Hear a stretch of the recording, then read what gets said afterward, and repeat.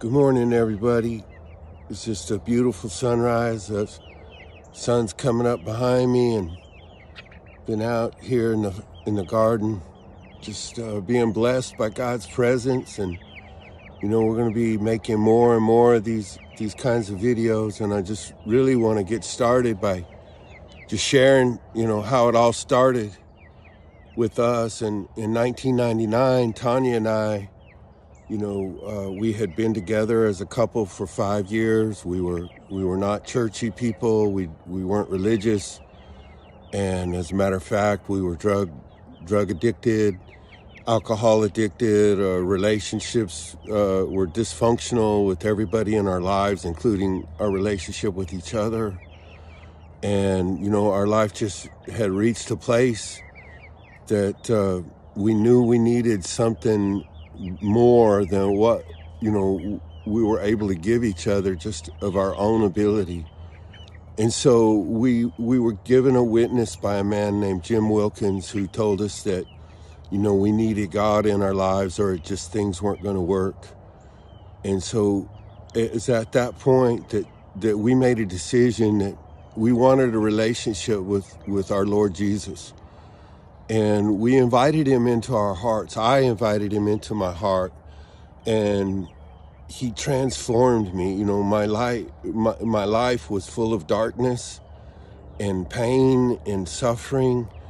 But, you know, when Jesus came in, it just lifted that burden, that burden that I have been trying to carry myself.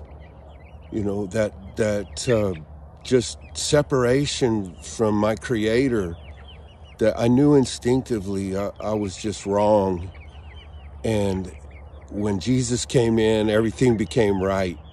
And, you know, life became right. Life came back, you know, into its its purpose and its meaning began to, to be real to us. And and now we've been living for the Lord for almost 22 years.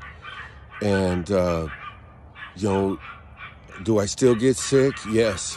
Do I still have troubles? Yes. Do I still have little Yorkies that bark a lot? Yes. But you know what? God's with us. And through it all, you know, I've learned to trust in Him and I've learned to know that, you know, this God that ordered the sun to come up every morning and it's still obedient, I need to be the same as God's son that when he orders me to do something that you know i just i just follow his direction. I don't question him or the thing he's asking me to do. I just do it. And you know i know some people can't understand that but it's part of what we do here in our, on our farm and in our lives is just trust god. And i want to encourage you you need to learn how to trust god in your life. And our god has a name his name is Jesus of Nazareth, and he loves you and he wants a relationship with you. Let your journey to forever with Jesus start today. Ask him into your heart. Amen.